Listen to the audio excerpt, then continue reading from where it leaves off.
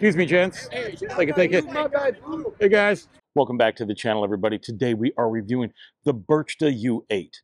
It is a long distance utility type bike. It's a step through. You want to learn more? Well, let's get into it. Now, before we hop into the specs and everything on this bike, these bikes always seem to come with a lot of accessories. And here's what I mean. When you purchase the bike, it's going to come with a list of accessories. You're going to get a bike pump for your tires. Here is a phone holder. You get a bike lock. These are all the tools that you need to put the bike together. And it comes with this bike bag that you can attach somewhere on the bike. The Burchda U8 is a class 3 e-bike, which means we should be able to reach over 20 miles an hour via the half twist throttle right here, your five levels of pedal assist, and your cadence sensor. Currently, you can purchase the Burchda U8 for only $10.99. I also have a discount code for you that I'll be sharing at the end of the video. This bike weighs 81 pounds but has a payload capacity of 350 pounds. It does only come in a step through and your average rider height is from 5'2 to 6'2. The Burchda U8 comes in three different colors. You can get it in black, gray, or this white that I have here. With this big battery, they claim that the Burchda U8 can go up to 110 miles on a single battery charge. Now, personally, I'm hoping that it does not do that because that's a long time to be on a bike in one day. I am sure that's putting this bike under the best case scenario, keeping it at the lowest pedal assist levels and all that. What I'm going to do today is I'm going to go as fast as I can for as long as I can, putting this bike through its worst case scenario. So let's see how it does. The U8 has a 48 volt, 500 watt brushless rear hub motor. It has a peak power of 750 watts and 75 newton meters of torque. The U8 has a 7-speed transmission, a Shimano Tourney derailleur, and the Shimano thumb shifter. For stopping power, you have the Wuxing mechanical disc brake system. It also has 160 millimeter rotors. For suspension, the forks are spring-loaded. It has 80 millimeters of travel. You can adjust the preload settings and lock it out. The tires on this bike are made by Evistone. They are 20 by 4 inch. They have an aggressive mountain bike pattern and they're puncture resistant. Now let's talk about one of the main features of this bike and that is this battery. It is a 48 volt 31 and a half amp hours with 1512 watt hours of power.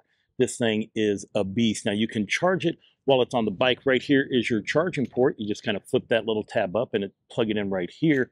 Or you can take this battery off and charge it indoors. Now, I know it looks like it shouldn't come out, but the seat here flips up. Grab your key. It's going to come with two keys. I'm going to put that in there, flip it forward, and you can pull the battery right out. We're going to go ahead and lock that. Now, this is one of those bikes that does take a key to operate it. So when you go out for a ride, you need to make sure you have your key, and you're just going to put it right here, and now you have power to the bike. It does come with a 3 amp hour charger, which means it's going to take about 10 to 11 hours to charge this bike.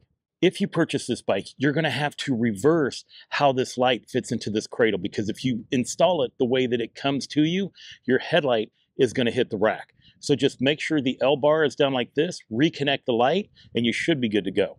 Additional features include you have metal fenders, you have this quick release seat post. You have this funky seat. It curves up on both sides. We're gonna we're gonna see how that is long distance. It does have this padded area here on the back, or you can purchase this with a basket that goes on the rear. It has aluminum pedals and BMX handlebars.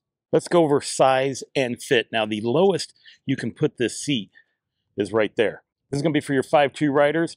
And then Let's see how far up this can go. Is there any numbers on the back? No, there is not. But I do see a mark where it says highest position. So right there, that is your highest seating position. The thing about these BMX handlebars is you can push them forward and back to make sure that, you know, you can reach it and that it's comfortable for you. When it comes to this back pad, I think it's just for looks. I mean, I don't think I would be wanting to put anybody on the back of this bike. Cockpit operations. On your left-hand side, you have a very hard rubber type uh, grip, but it does have the palm rest on it. Here is your front brake lever. Here is your light, and it has a horn. Right here is your control panel. Once you turn the key on the battery and turn it on, all you have to do is hold down this power button here in the middle. Your display fires up, and now it's ready to go. As you can see here on your display, it has your battery indicator. This is your speed limit right here, or your, your speedometer. This is your pedal assist levels, and this is your trip odometer. By hitting the I button, it bounces between the overall odometer, your max, and your average speed. As you can see, we don't have any of those going on right here. To go up and down pedal assist levels, you're just gonna hit the plus and minus button. Now, one of the cool things about this display is that you can jump inside this display and then go ahead and set it up to either one to three different pedal assist levels, five pedal assist levels, seven pedal assist levels, or even nine different pedal assist levels. This button does not operate the light because your light button is right here. Now when you turn it on, your headlight's going to come on and so will your tail light. And here is your horn. The headlight is a nice round headlight. I like the fact that it has those up and down lights and then the one here in the middle. Now when it comes to your tail light, I like the fact that it is integrated, although it is not a brake light. So it doesn't matter if you hit your, your brakes, it's not going to get any brighter and it's not going to get any dimmer. I also want to point out that there is a USB charging port right under here. This bike also has a walk mode and cruise control. On your right hand side, you have your right half twist throttle. You just turn that to make the bike go forward. Here is your rear brake lever and your thumb shifter. And the way this works is to go down in gear, you just click it, and to go up in gear, you just push it with your thumb. Now that we've covered all the features on the bike, let's take it out on the road and see how she performs. We are out here on the 606 here in Chicago. For those who uh, haven't seen my videos before know where I do these tests, this is also known as the Bloomingdale Trail. Right now we're in pedal assist zero trying to see how easy this bike is to pedal without any power and we're in gear like four and we're cruising at about nine miles an hour. You can definitely feel the weight of the battery behind you. Hopefully I don't have to ride this bike a long time today or a long distance without battery power. Let's start off with testing the throttle. I have it in pedal assist level one. We're gonna see if it's actually dictated by the amount of pedal assist level that you're in. Oh yeah, I can definitely tell that it already is and we are cruising at five miles an hour in pedal assist one, throttle only. Let's go ahead and kick it into two. Two is gonna take you to eight miles an hour. Three, you're cruising at 13. Number four, between three and four is where you really start to feel the uh, power. And we are cruising at 18 miles an hour. Let's see what pedal assist five does. Pedal assist number five has me bouncing right between 24 and 25 miles an hour. So 25 miles an hour is the best we're going to be able to get out of pedal assist number five. Now we're going to test the pedal assist. Uh, right now we have it in pedal assist number one. We do have it still in gear number four. And you're only going to cruise about five miles an hour in pedal assist number one. Let's go ahead and switch it into pedal assist number two. And we're doing about nine miles an hour in pedal assist number two, pedal assist number three, 15 miles an hour in pedal assist number three, bounce to number four, 19 miles an hour in pedal assist number four. So far, no ghost pedaling. Let's go into pedal assist number five. And we are cruising 25 miles an hour in pedal assist number five. There is ghost pedaling, but since this is a cadence sensor, all you got to do is just slow that tempo, keep your legs moving, and it'll keep you at that 24 to 25 miles an hour. Going to go ahead and check out the uh, speedometer and see if it is accurate. And I can tell you right now, so far it looks like it is. It just takes the GPS a little bit of time to catch up as opposed to the display. But right now it seems like they're both tracking on the same speed. It is time for the throttle test. We're going to go ahead and see how quick we can hit 25 miles an hour using throttle only. Here we go. Now when it takes off, it doesn't, it's not an aggressive takeoff, but I am feeling like steady power all the way through the push. Boom, 27 seconds. So it's not really fast, but it's also, you don't feel like you're out of control. It's just constant power at a safe speed and a safe rate. Now we're to do pedal assist only. We're to see how long it takes to get from 0 to 25. We have it in gear 4 so we can take off rather easily. And here we go. We are launching now. Kicking it up some gears. There we go. Now we're going to use everything. Pedal assist, throttle, all of it. Let's see how quick we can hit 25 miles an hour. Let's go. There, we, come on, oh, there we go. Woo. That's a leg smoker. Had to stop off at the house, switch out my coat. It's supposed to be about 65 degrees today.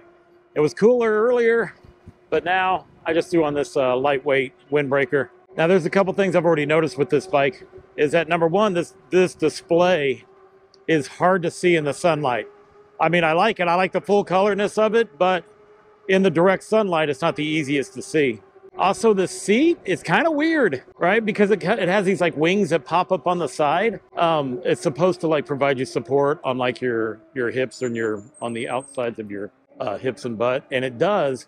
But it's just a weird feeling, right? Like I don't hate it. It's just uh, it's just something definitely different. Mostly the only thing I can hear with this bike are the tires. With this display, this bike does have a lot of functionality on many of the customizations that you can do with it from changing the various pedal assist levels, tire size, resetting your trip mileage. This bike also comes with an app. I did download the app, but I could not get it to uh, work on the bike. All right, it's time for our off-roading part. Here we go. Ooh, I feel that battery bouncing around in the back. I mean, this bike's not really made for off-road stuff, but we can do it.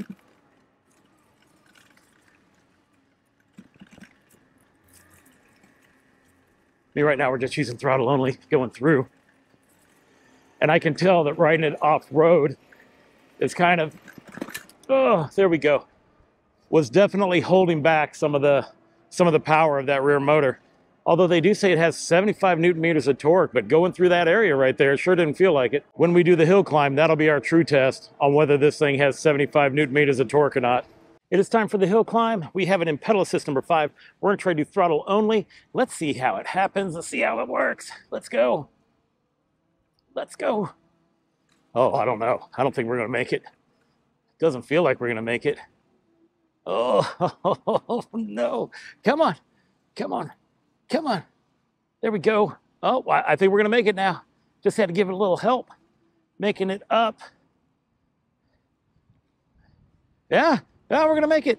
It should be very easy whenever we do the part where we're just pedaling. All right, now we're gonna do it by using uh, pedal assist. We're just gonna pedal along. It should be pretty easy. Taken off. Oh, why is this thing? Oh, it took it a second to get going. There we go. All right. Yeah, like totally easy. Although it does feel like it's not making it as easy as I thought it would, but we're still making it relatively easy. I mean, she's not much of a hill climber, but she'll definitely do.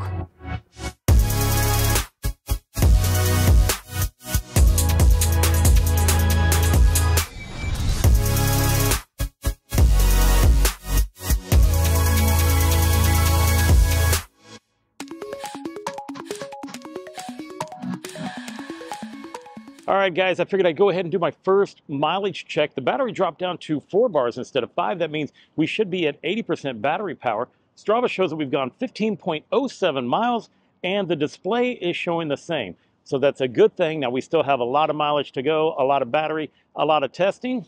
So let's move on. Now, here's one thing I've noticed. Since we've taken off, we're back to five bars again. And so it's one of those kind of things.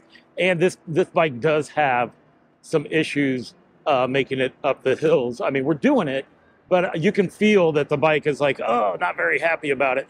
I mean, now that we're in the groove, we're doing just fine. Now, I have been hearing some rattling from the fenders, and that is an easy fix if you just have some nylon washers, and you can prevent that from making any noise. Right now, we are fighting against heavy wind. I figured I'd spend this first part riding into the wind because when uh, it comes to the battery getting low, hopefully I'll be going with the wind as opposed to against it.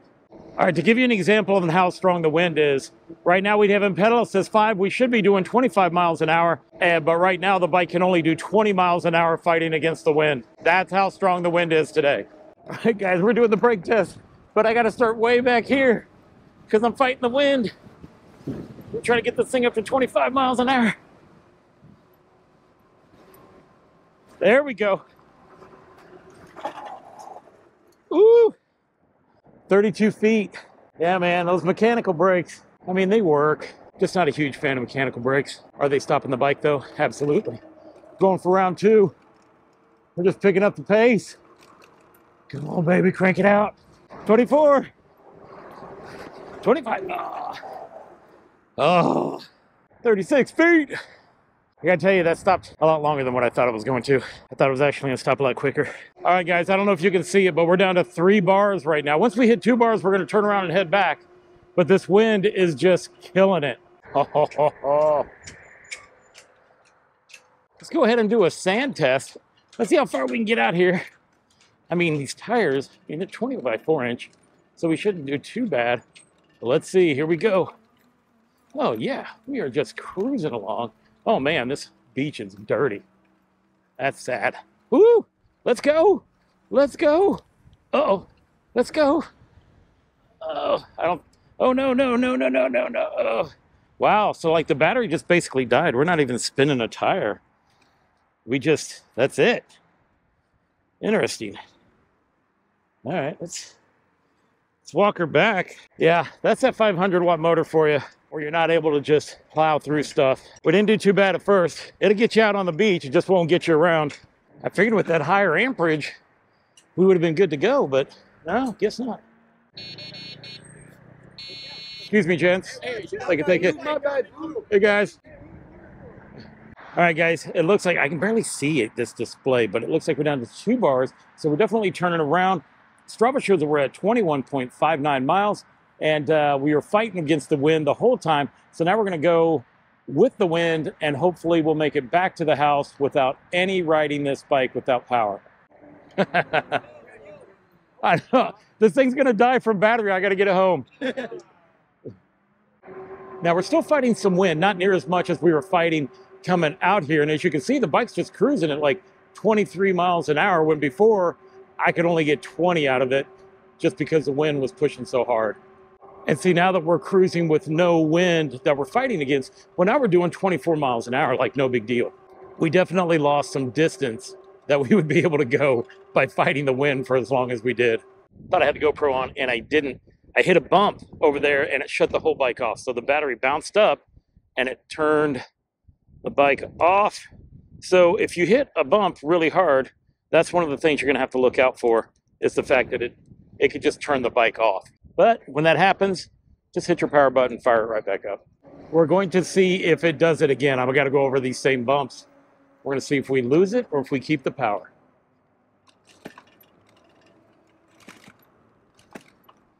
Yeah, we still kept the power. When the direct sunlight's not on this display, it's a really attractive display. I like how the light or the lines are like shooting through. I don't know if you can see that on the uh, video, but uh, those blue lines are like moving forward as you're moving forward. So it kind of looks pretty cool. Now, since this is a big battery, normally I'd be turning up here to go towards the house. I'm now that I'm kind of close to home, or at least I know that I'm like six to eight miles from the house. I am okay with letting this go down to one bar of battery just because of the uh, size of this battery and get it down to its last 20% before I start heading home. The only thing I have to pay attention to is the farther I go away from the route that I want to go home, that means I'm going to have to fight the wind coming back to get to that point. We're going to turn around so we can fight some wind here. We're going to test and see how fast we can go using throttle only with this wind. Right now, it looks like we're holding 19 miles an hour. I've been going up and down Lakeshore Trail. Uh, we finally made it down to one battery. We are at 31.82 miles. We're going to go ahead, we're going to head home from here, and then we should be able to uh, make it home no problem. Whoa. Whoa, no. Oh my gosh, the wind we are fighting. This was not what I was hoping for. Oh my gosh, Woo, those wind gusts. Well, now, now I'm a little concerned. If I got to fight wind like that all the way back home, it's going to be an issue. All right, we're here on the 606. We are riding into the wind, but we are still doing 18 to 19 miles an hour. We're just using throttle only at the moment. I wanted to see how it would do, and we still have the one bar right there. Like I said, it's super hard to see with the sunlight out, but oh, there we go. Now we're in the uh, now we're in the shade, so you can see kind of what's going on. Right now we have it on full throttle. We're only doing 15 miles an hour. The wind is, I mean, we're fighting wind pretty good right now, but it also has to do with the battery getting a lot lower. And only about now am I feeling it on the seat. So we've done a good, you know, coming up on 40 miles with uh, with this seat, and uh, it's done a lot better than what I thought it would. Well, in true fashion, we're going to ride this thing till it's about dead. So we're going to turn around as uh, we're almost to the house. So we're going to take it till the battery starts flashing, the battery indicator, and then uh, and then we'll bring it back.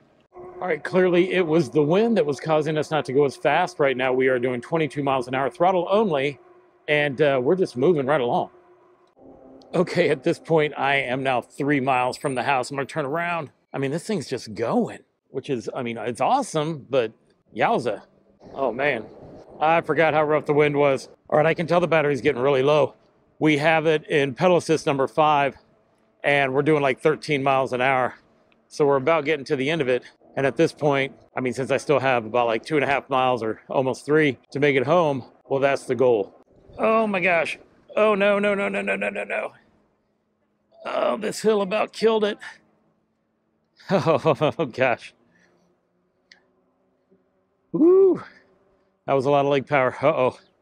I'm feeling like we might have lost it. I don't think there's any power going to this bike. I got to start kicking it down in gear. I mean, although it's still lit up, still a single bar. But I'm not getting, look, if I just do throttle only, it's going to come to a stop. Oh no. Pushed it too far. I was hoping that the battery indicator would like flash or something like that to give me an idea that it was about out of battery or like an E9 code or something. Nope. Nothing. So I'm to do is I'm to pull over figure out how far we went, get this bike home, and then I'll give you my final thoughts. I wanted to go over a couple of features that I didn't talk about yesterday. This bike has an app that comes with it. And once you download this app right there, Yolan e-bike, you can connect it to your bike. And how you do that, you would think that you would hit the, the gears to do it, but no, there's a little Bluetooth button. You click it. When it pops up, it says Yolan. You connect it, and it really easily connects to the bike. And as you can see, it shows the volts right here, which really would have came in handy yesterday when I could see how much voltage was going to the bike. But I wasn't able to figure out how to connect the app, and now I know how by hitting this button instead of hitting this because when you use this one, it wants to take you to a QR code and this display does not produce one. So you have to connect it through Bluetooth. With this app, you can change your pedal assist levels on the fly. As you can see, they're changing on the display. I'm not sure if you can see it, but uh, they are. Shows your speed, overall odometer, your trip, 53, I think. There should be. Pretty sure I saw a way where I could change my speedometer or reset. Oh, here we go reset, trip, clear the trip. All right, let's see if it did it. Bounce back. I don't know how to bounce back. How do we bounce back? Yikes. Doesn't uh doesn't show us how to bounce back. Ooh, limit speed. Can we bump it up anymore? No. Oh, we can. What if we get this bike faster than 25 miles an hour. We're going to find out here in a second. Let's, uh, I guess I got to get back out and go back in. That's the only way. Yep, keep only while using. Got the app thing. All right, now it's showing that we need to reconnect to the bike. I'm going to show you how that works. Right here, it's showing the different things. Yolan, boom. And we'll connect right back into the bike. There we go. Trip meter has been set to zero. Let's see how this map works. All right, so the map shows you how much voltage, which, like I said, would have came in handy yesterday. And uh, but I don't see the map. Let's see if it'll show up when we start riding. Uh, I don't see the map feature working, but all this information down below is. So I could see where there is some use, definitely for changing some of your uh, your parameters, resetting your trip. But you can also reset your trip without using the app. Let me show you what I'm talking about. Right now it shows we have one mile on the bike. If we hold the I and the minus button and hold them down simultaneously for three seconds, it resets it. All right, let me show you the one last feature. To get the cruise control to work, well, you're just gonna get at the speed that you want. We're gonna go ahead and throttle up here. And then all you're gonna do is hold down the minus button and it should hold it. And there we go. We're cruising at 15 and a half miles an hour. Now, if you want to get out of the cruise control, well, all you have to do is either pedal, hit the brakes, or hit the throttle. We have unlocked the bike. I wanted to see if it would go faster than 25 miles an hour. Right now it's showing 25 4, 25 6. So it's it's not going to go any faster than the 25 miles an hour no matter what speed setting you put it on. All right, back to the video. All right, guys, I made it back. Now, I did have to ride this bike two miles approximately two miles with no power or any assist going to the bike. Um, I do not recommend. That was not fun at all, especially because I was riding into a headwind. Now, Strava says that we went 41.91 miles, so we almost made it 42. I think that's really, really good for a bike that was fighting into the wind as long as we were. I pretty much know for a fact that this bike will make it a lot longer distance if we weren't fighting those winds today. Let's talk about this seat. Yeah, it is shaped weird and it looks funny, but it did a really good job with the with comfort until I got to about 38, 39 miles, and then I started to feel it. So it's going to be up to you whether you want to trade this seat out or not. Me, I mean, the only reason I would do it is just because I would get one that looks better, that a better looking one, and it just wouldn't look as odd. But really, that's just something that that's just a me thing. It didn't have to be a you thing because the seat is comfortable enough to where you could go a long distance without having to change it out.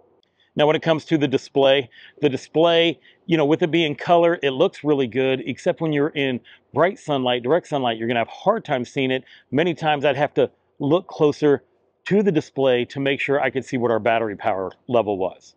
Also, when it came to the distance on that battery indicator, well, it's supposed to get to a part where it's empty and it'll flash. You know, it doesn't show any bars, but it'll flash for you. Well, we ran out of assistance to the bike when we had one bar. Now we had that one bar for quite a while before we lost that power. So here's the thing. You know that if in the worst case scenario, you're going to get at least 41 miles out of this bike.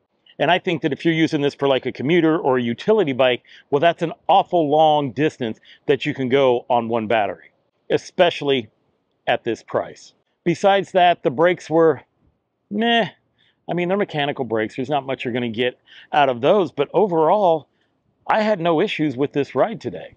Now, if you're looking at the Burchda U8 to purchase, well, go ahead, use my link down below. It'll be in the description. That'll take you directly where you need to be. Um, if you do decide to get one, yeah, that does help the channel out so that I can keep putting out videos for you guys, and it doesn't cost you any extra in the process.